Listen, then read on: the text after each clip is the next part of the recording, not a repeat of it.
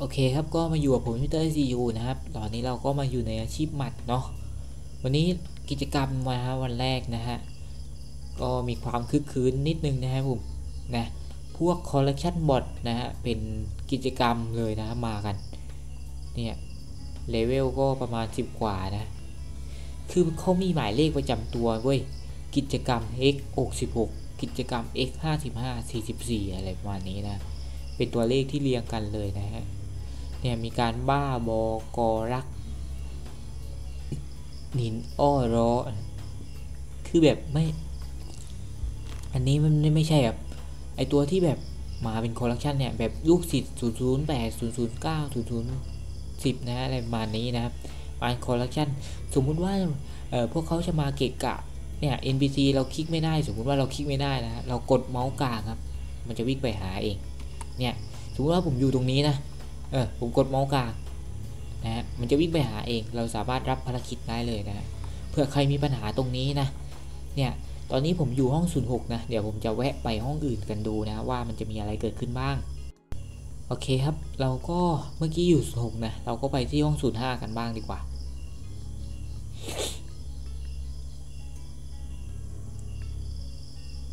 อะ สักครู่นะครับอะ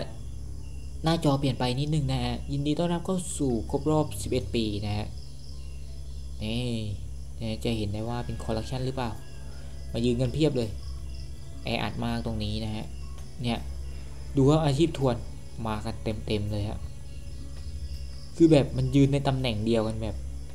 แบบผู้เล่นแบบไม่ใช่ผู้เล่นอะถ้าผู้เล่นมันจะยืนห่างจากแบบเนี่ยมันไม่มีทางคลิกไปแบบ ยืนแบบนั้นนะฮะเออ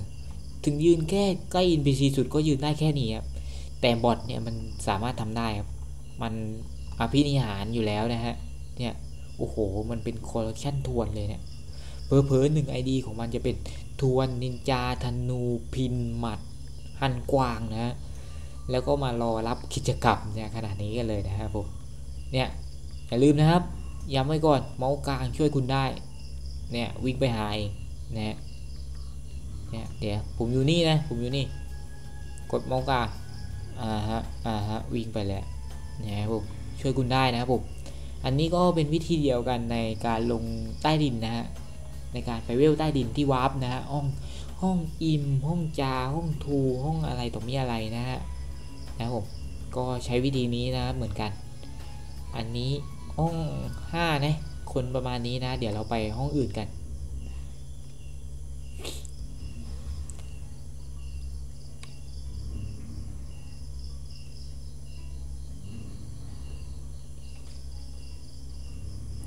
มีใส่คีย์นะเดี๋ยวสักครู่นึงเมื่อกี้ห้อง 5 แล้วนะ เราไปห้องไหนกันดี ห้อง 4 เนาะเรายกตัวอย่างแค่3ห้องพอ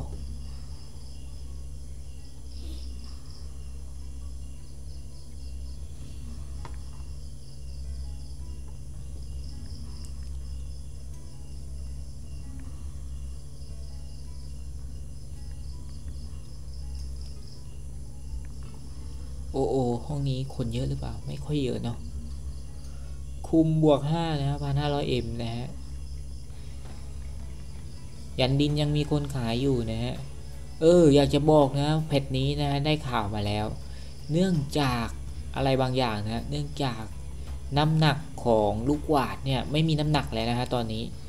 เพจเอ่อเพจวันที่3นะ3พฤศจิกายนนะ2559 นะครับเอ่อ ไม่มีน้ำหนักแล้วนะฮะดีใจกันด้วยนะสำหรับสายปั๊มนะฮะแต่ไอเทมยังคงตกยากเหมือนเดิมนะคือปีนี้เนี่ยออไอเทมประเภทเอ่อหญ้าหญ้าหญ้าบวกหนึ่งนะบวกสองนะจะเห็นได้ว่าไม่มีการขาย ไม่มีการปล่อยขายเป็นคอลเลคชันหรือว่าเป็นการเก็บดองนะฮะไม่แน่ใจเหมือนกัน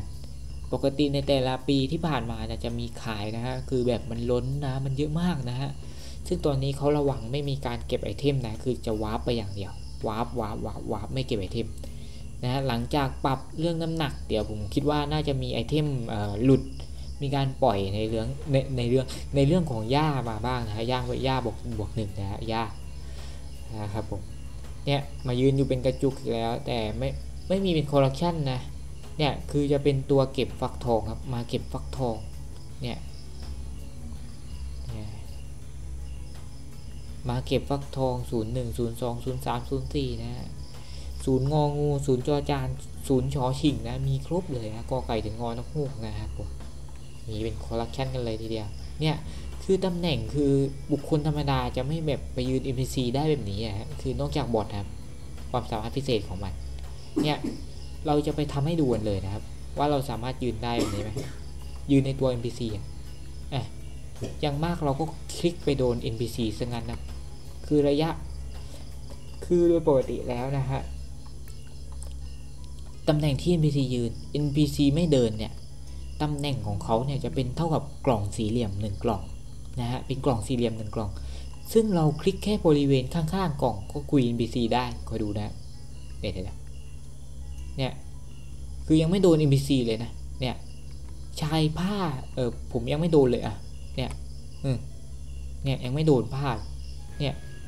แค่โดนเงาเท่านั้นนะครับ จะเห็นเมาส์ผมหรือเปล่าไม่รู้ไม่แน่ใจเหมือนกัน อาจจะบักไม่เห็นเมาส์นะฮะไม่เป็นไรโปรแกรมไม่ได้อัดเมาส์ให้นะครับเพอเพอๆนะฮะคือไม่มีทางที่ตัวละครเราธรรมดาเนี่ยจะเดินไปแบบซ้อนกับ NPC อะง่ายๆเลย เนี่ย คือแบบพยายามเดินให้เฉียว เดินให้ผ่าน หรือว่าพยายามคลิกแบบวิธีแบบคลิก คลิกแบบเนี้ยตำแหน่งสีแดงเลย อะ สีแดง เราจะไปยืนซ้อน NPC หรือเปล่า เนี่ย ยังไม่ซ้อนเลยฮะ เนี่ย เนี่ย ผมพยายามคลิกใน map ยังไม่ซ้อนเลย ใน map ที่เป็น map เล็กอะฮะ เนี่ย คือตำแหน่งเนี้ยก็ไม่ได้เหมือนกัน เนี่ย ยกเว้นบอทครับ อภินิหารเหลือเกินนะฮะ บอทความสามารถพิเศษในการยืนใกล้ NPC เนี่ยคือแม่งยืนที่ตีน NPC ยังได้เลยฮะเนี่ยทับ NPC ได้เลยมาเป็นคอลเลกชันเหมือนเซตไว้ยืนตรงไหนก็ได้นะฮะเนี่ยเราเนี่ยความสามารถของคนเราก็เป็นผู้เล่นปกตินะฮะยืนระยะห่างกดเมาส์กลางอะมันจะวิ่งไปใกล้ที่ NPC ที่ใกล้ที่สุดนะครับนะฮะเนี่ยกดเมาส์กลางปาบวิ่งไปเองเลยนะครับผม ก็สำหรับคลิปนี้ก็มาบอกแค่นี้นะเมาส์กลางจะช่วยคุณได้นะฮะในกรณีที่ลงสงครามลงวอลอะไรแบบนี้ด้วยนะ คือตัวที่แบบชุลมุนวุ่นวายนะ อยู่ใกล้เราทำยังไงดีจะตียังไงฮะตีไม่ได้จะตีตัวนี้ตัวนั้นนะ กดเมาส์กลางหวดแม่งเลยครับนะครับผมสำหรับวันนี้เราก็มาพูดมาก พอสมควรแล้วนะฮะ เราก็ได้เวลาลาไปก่อนกับผมดิมิเตอร์ซีอยู่นะไว้เจอกันคลิปใหม่คลิปต่อไปว่าจะเป็นคลิปอะไรนะครับผม บ๊ายบาย